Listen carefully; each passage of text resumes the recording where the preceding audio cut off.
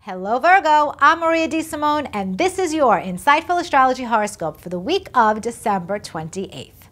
Virgo, on Wednesday, Venus will move into your fourth house of home and family and stays there until January 23rd.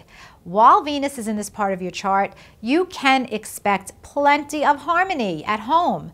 You and your relationship with a relative could improve dramatically, and you might also feel like redecorating, and you might even splurge on a couple of items that are a little bit indulgent.